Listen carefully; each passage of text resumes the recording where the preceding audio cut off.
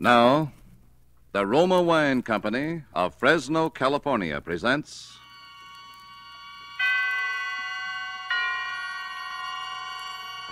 Suspense.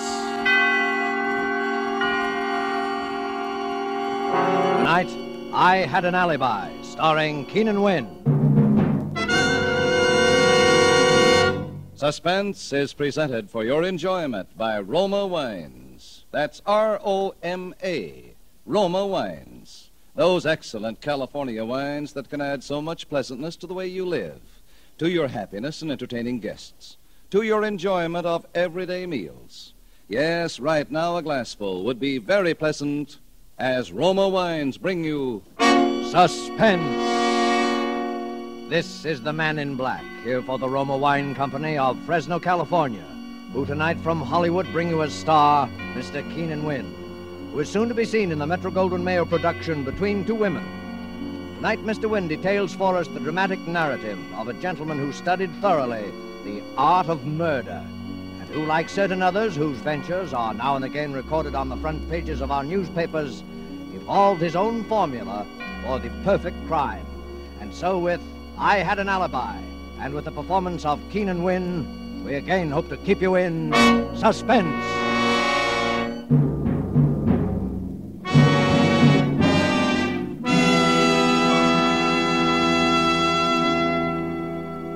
Miss Lamson? Yes?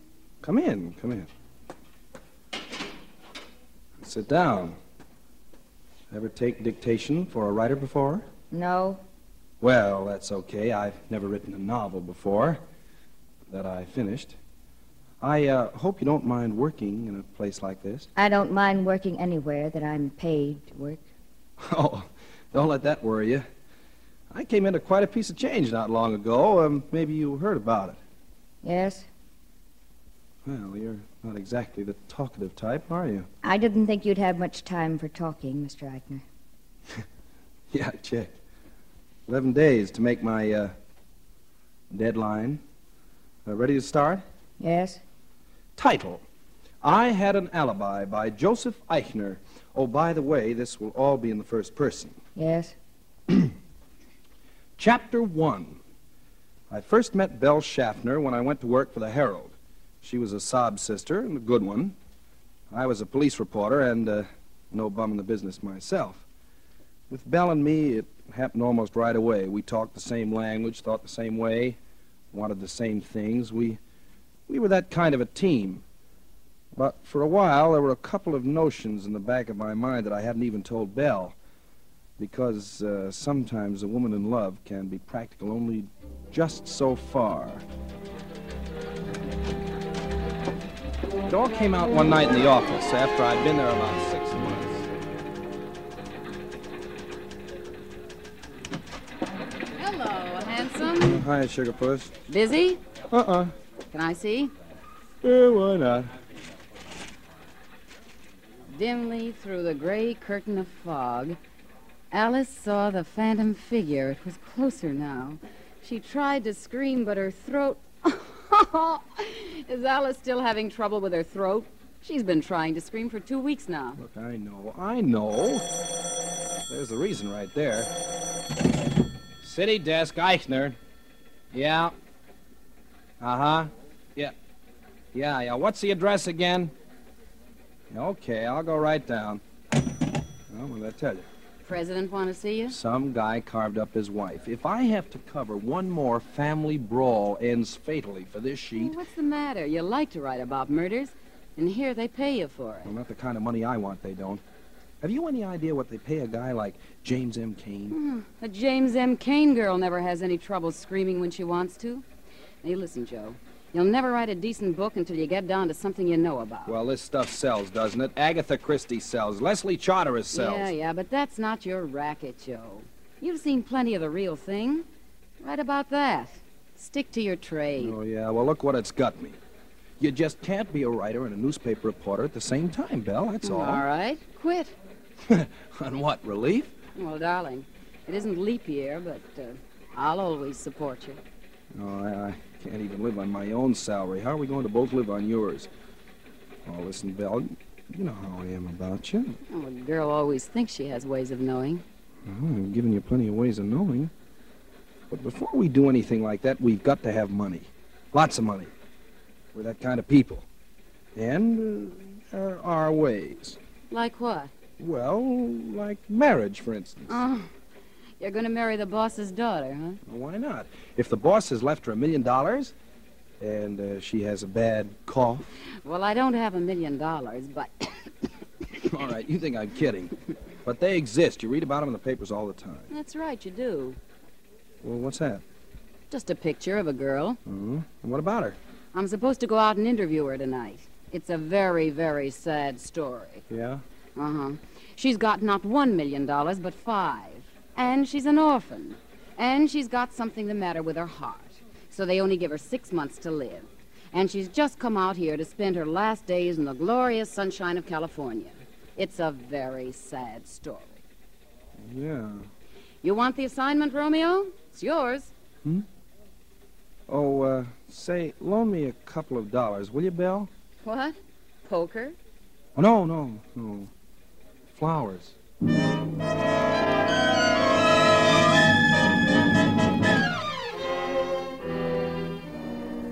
Tonight, for suspense, Roma Wines are bringing you as star Mr. Keenan Wynn, whom you've heard in the prologue to I Had an Alibi, a radio play by Mindret Lord. Tonight's tale of suspense.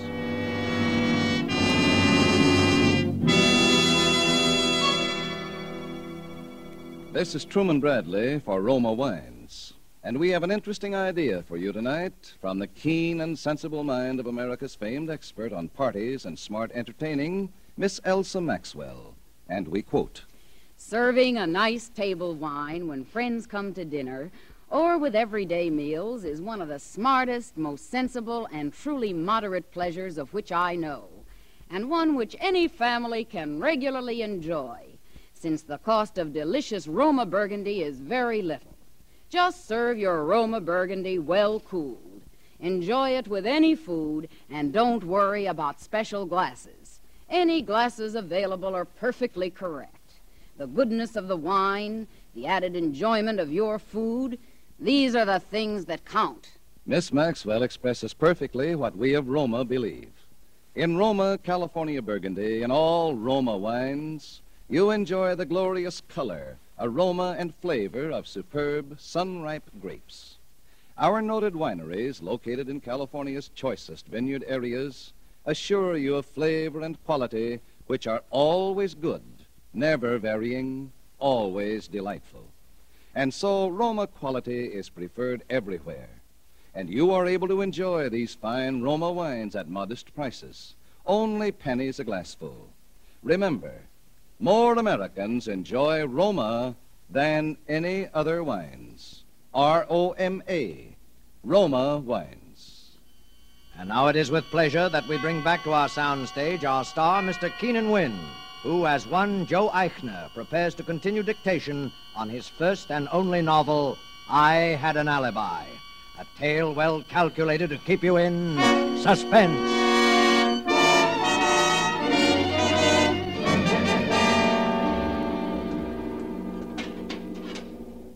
You're, uh, sure you don't mind coming here, Miss Lamson? No. Well, we'd better go on with the dictation. I've only got, uh, nine more days. I'm ready. Uh, chapter four. Belle Schaffner was a good sob sister, all right, even if she did have one weakness, which was me. The story she'd given me about the girl was the real McCoy. Her name was Linda Vale, and she did have five million dollars and just six months to live. I went out to her house that night. She was living in a big place in Beverly Hills that she'd taken over from some broken down movie star. You know, swimming pool, tennis course, riding stables, the works. And not a soul around. I'd been worried about that. I, I thought maybe she might be having a last fling and working at it 24 hours a day, you know, with a lot of nosy spongers hanging on to her all the time. There was just one light on in a room upstairs and a hall light. I went up to the door and knocked and waited. Yes, sir. Uh, I'd like to see Miss Vale, please. I I'm sorry, sir, but Miss Vale has given orders that... Well, would you just give her these, please? I'll, I'll wait. Very well, sir. A press card will break the ice with almost anyone, and I knew the flowers would do the rest. What a surprise. Pretty soon I heard steps and a voice. Saunders, the flowers are simply lovely, but who... Miss Vale? Yes? Well, my name is Joseph Eichner. Yeah, she was a nice enough kid and lonely. Because, like a lot of people on a spot like that, the thing she was afraid of most was having anybody pity her. That's the mistake that nearly everybody made. But not me. I played it for a switch. I'd figured every move for days ahead. Joe, Yes? what's the matter? Oh, nothing. You've been awfully subdued lately. You've always been so gay. Well, Linda, I. Well, I've got to go away. Go away? Linda, I've been trying to keep it from you, but. Well, gee, you, you must know how I feel about you, and seeing you every day and knowing that. Oh, Joe. Well, it's not fair to you, Linda. And, well, I can't take it anymore. Joe, Yes. I don't want you to go. I don't want to. I don't want to, Linda, but. Then promise me. Promise me you won't leave me. Just for the little time that's left. Oh, Linda. For my sake. All right, Linda. For your sake. After that, it was quick and easy. Three days later, we went to see her doctor, the best heart specialist in California. Dr. Lawson, you must be frank with us. Doctor, we're in love. I see. And we want to be married. Look, Doctor, if I could make Linda happier, if I could give her all the love and tenderness, well, isn't it just My possible? boy, all that medical science can do is go on the basis of experience. We can't make certain prophecies. But on the basis of experience, the prognosis for Linda remains unchanged. But, Doctor, once you told me that uh, anything is possible. And I say it again, my dear. Anything is possible. That's enough for me, Joe. Yeah, me too. Do you, Joseph, take this woman to be your lawful wedded wife to have and to hold in sickness and health, for better, for worse, for richer, for poorer, forsaking all others, until death do you part? I do. Do you, Linda, take this man to be your lawful wedded?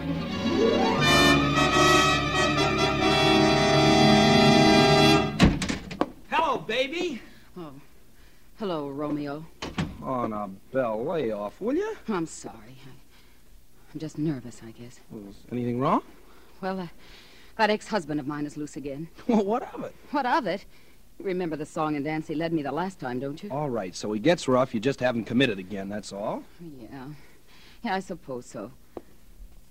Belle, No, please. I don't feel like... well, what's the matter? Well, what do you think? Oh, now, Belle, you know I come around here as often as I can. Sure. Sometimes as often as twice a week. Well, I see you other places. Anyway, I, I can't help it. And then when I do come, well, gee, you might at least... Hmm. All right. Skip it. How's the writing coming along? Oh, I don't know. I just can't seem to get started. So you're not even getting that done. Well, how can I get down to work when all I'm thinking about is... Joe, how long is this going to go on? Well, how do I know? It's bound to happen That's soon. what you said a year ago. A year ago. But, Belle, it's all set. She made out the will in my name and everything. All we have to do is wait. Just wait for the heart of hers to quit. That's all. Well, I'm tired of waiting. Now, what do you think of that?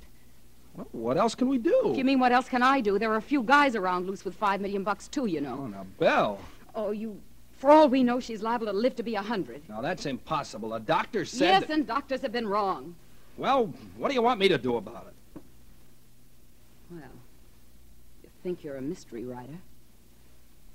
What do you mean by that?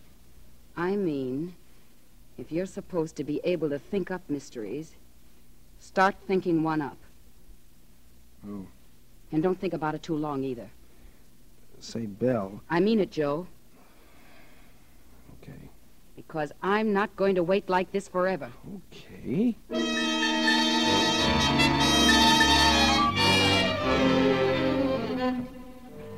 Well, that was when I first began to think about it. Then all of a sudden I began writing again. Linda was a little surprised, but I kept right at it, and every so often I'd show her what I'd done. It was pretty terrible, but It didn't matter because nobody but her was ever going to see it anyway. After about two weeks of this, I was ready. That night I came out of the study and went into the drawing. Working hard? Yeah. Uh, say, Linda, you want to do me a favor? Well, of course I do.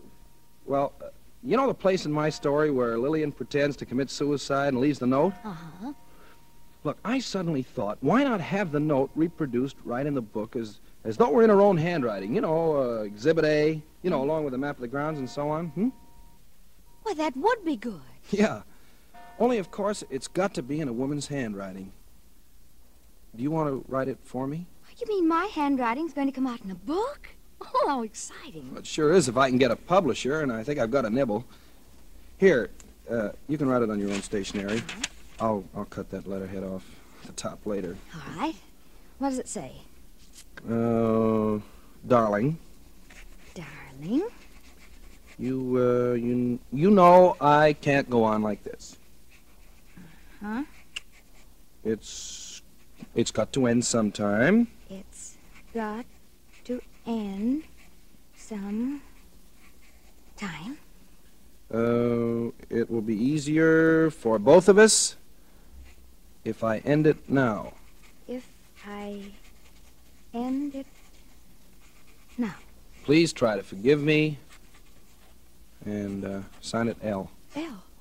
Wouldn't you sign? Oh, no, no, you see, all Lillian's letters to Dick are signed L, remember? Oh, yes, yes, Yeah. I remember now. There. Oh, thanks, darling. Is it all right? Oh, sure. It's perfect.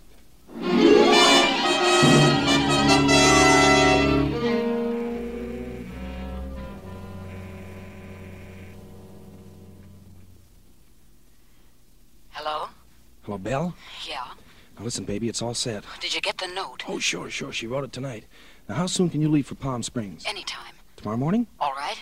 Now, listen, when you check in down there, make plenty of fuss about it. I will. I'll leave here at exactly 9.30 tomorrow night. I'll stop at a couple of places, so you leave Palm Springs about uh, 15 minutes later, or 9.45. Better check your watch at Western Union. I'll do the same. Okay. Hey, be sure to bring plenty of stuff. Everything you can lay your hands on. Oh, don't worry. I will. You remember the place, don't you? Remember? You know, the second turn after you leave Riverside. Well, how far is it about? Well, it's exactly halfway between the springs and here. Say 60 miles. I'll be there. Okay, baby. Tomorrow night.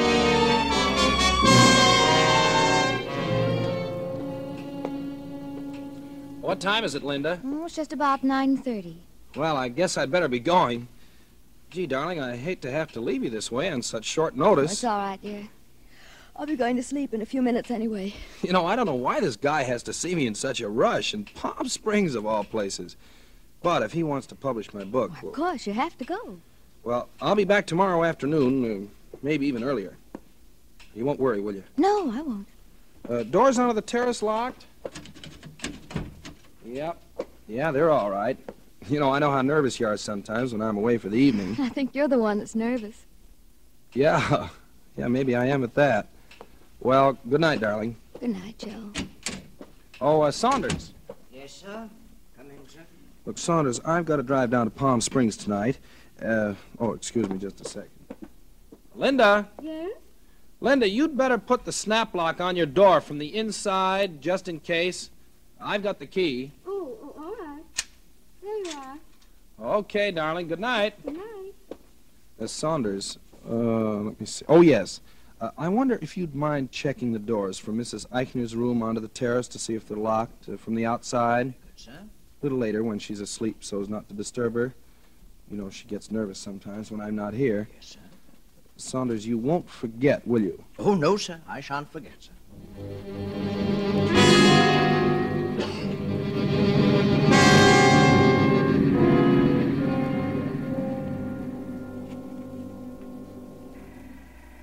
Uh, five gallons. Yes, sir.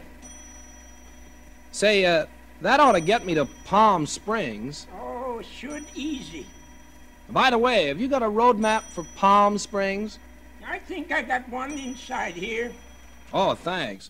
Say, I don't suppose you'd cash a small check, would you? I missed the bank today. Well, the boss might, but um, he ain't here. Well, I got identification, plenty of it. See, Joseph Eichner, license, Social security card. Joseph Eichner. Yes, yes, I see, son, I see. But unless the boss was here, I wouldn't cash a check for Henry Morgenthau.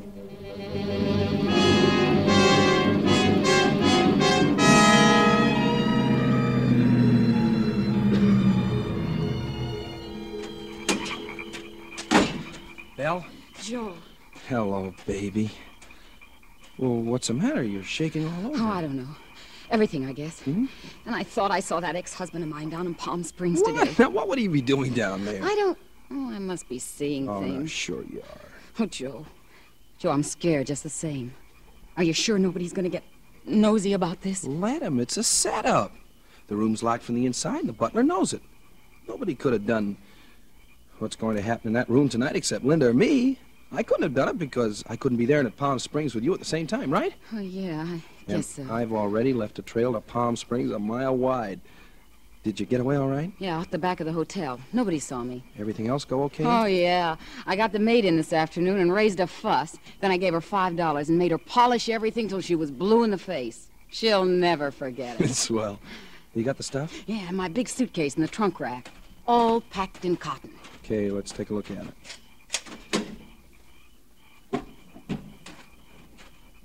Here we are.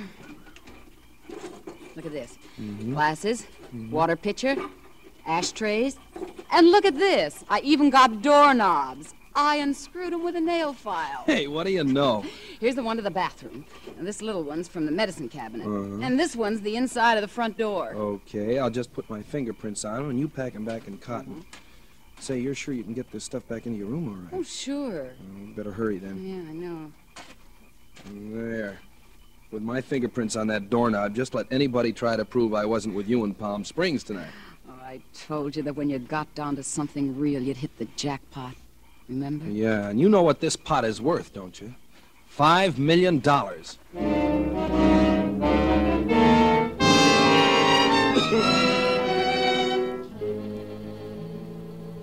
No hitches. I got back to town a little before two. I drove the car into a little side road about a half mile up the canyon and walked back. I didn't meet anybody, and the places I passed were all dark. So was mine. I slipped through a hole of the hedge and crossed the lawn and went up onto the terrace. I checked to see if I had the suicide note in my pocket, and then I pulled on a pair of gloves and opened the terrace door with my key and went inside. The gun was in my overcoat pocket. It was hers. I had the flashlight in my hand. I went over to the bedside and I flashed it on just for a second. She was lying on her side, turned away from me. I put the gun against her temple and pulled the trigger. She didn't make a sound. I reached over to put the gun in her hand, and then it hit me. Her hand was stiff and cold as ice. I flashed the light in her face. It was blue. While I was away, she'd had her heart attack at last. For the last three or four hours, she'd been dead. Well, for about ten seconds, I didn't know what to do. Then I realized I had to get out of there. Saunders might have heard the shot. Before, it wouldn't have mattered one way or the other because the coroner would have established the time of death anyway. But now it made all the difference in the world. I went out the terrace door and I locked it behind me. I crossed the grounds and I started walking up the canyon. Walking, thinking. I, I don't know how long I walked. But what I was thinking was enough to drive me crazy. I'd planned the perfect suicide. I'd planned it so nobody could have fired that shot but Linda or me, and I had a perfect alibi. But now it had to be me that shot her. Because any fool of a doctor could tell she'd been dead when that shot was fired. And then it came to me. What was the difference? Let the Palm Springs alibi go. Let them think the shooting was an accident. Let them think anything they wanted to. I had the money. And what can you do to a man for shooting a dead body?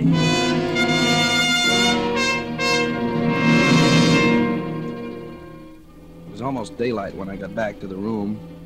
The house was still dark, so Saunders hadn't heard anything. First, I burned that suicide note. Then I turned on the lights and unlocked the door. Then I fired another shot into the wall for Saunders again, just in case he was awake. Then I went over to the interhouse phone.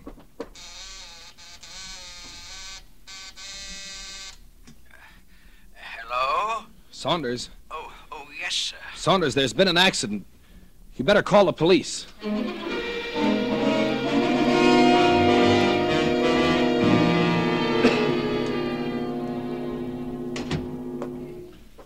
Well, uh, have you seen everything you want to, Lieutenant? Yep. Well, you're living kind of different than you used to when you were a police reporter downtown, huh, Joe? Yeah. Yeah. I, uh, suppose you want to ask me some questions. Oh, a couple. I uh, hear you were going to Palm Springs last night. Yeah, I was. I changed my mind. Who were you going to see down there? Anybody in particular? Oh, just a friend. It, uh, it wouldn't have been your old friend, Belle Schaffner, would it? Oh, whatever. I didn't go. Uh, you'd have had time to go, though. All right, but I didn't. Anyway, what's all that got to do with oh, with nothing, nothing, nothing. Just routine. So you came back here. Yeah, that's right. Then what happened? Well, I came in the house and I went up to the our bedroom, and I, I thought I heard a noise. I thought I saw a man moving around. Well, I was pretty jumpy, and I fired How many shots? two. And one of them hit your wife. One of them hit what was my wife. All an accident, huh? Yeah, yeah, that's right. You, uh, you come into quite a lot of money with her out of the way, don't you, Joe? Yeah, sure. What of it? Nothing. Only it's too bad you're not going to be able to spend it. Oh, nuts. What do you think you're going to do? Charge me with a murder for firing a shot into a corpse? No, but it could be a pretty spectacular little alibi for just on the spur of the moment, couldn't it? Alibi for what? For Belle Schaffner. What? Her throat was cut in Palm Springs last night, and your fingerprints are all over the place.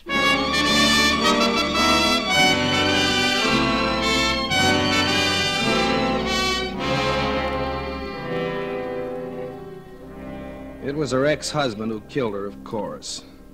But what's the difference now? Bella was right about one thing, though.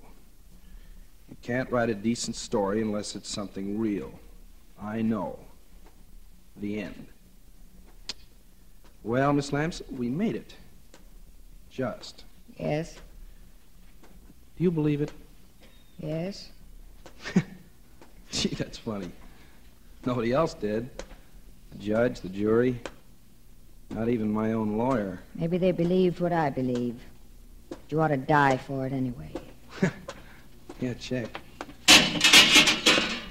And I got a date for that right now. Right, Warden? You ready, Eichner? Yeah, yeah, let's go.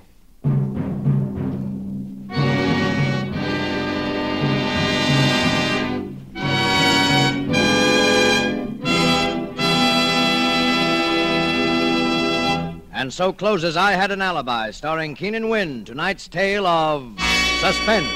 Suspense is produced, edited, and directed by William Spier. The other day, Elsa Maxwell told us about a friend who had lived many years in wine loving countries around the world. I gave him some of our delicious Roma, California Burgundy at dinner, and he confessed to me that he thought it every bit as enjoyable as any he had ever had. So I say, you people who do not regularly serve Roma wine are missing one of the most delightful treats daily living can offer. It's so good, so smart, and yet so very simple. Take Miss Maxwell's advice. Enjoy Roma wine regularly. It's always good, unvaryingly fine in flavor and quality, and only pennies a glass. Remember, more Americans enjoy Roma than any other wines. Roma, R O M A, Roma wines. Next Thursday, same time, Miss Nancy Kelly will be your star of Suspense. Presented by Roma Wines, R O M A, made in California for enjoyment throughout the world. This is CBS, the Columbia Broadcasting System.